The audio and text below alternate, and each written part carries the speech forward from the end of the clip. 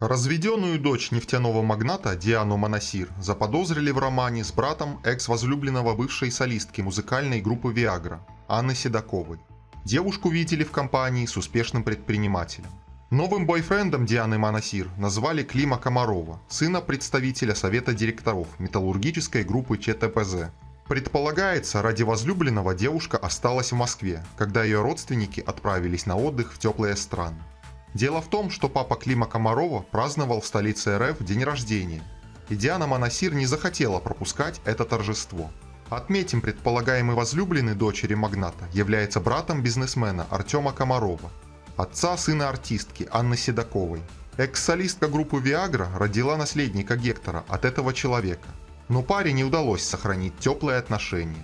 Ранее Диана Монасир состояла в браке с финансовым аналитиком Ростиком Багировым, Представительница золотой молодежи сыграла шикарную свадьбу в Барвихе. Супруги прожили три года и расстались, не назвав причины развода. Дочь нефтяного магната сохранила дружеские отношения с экс-избранником.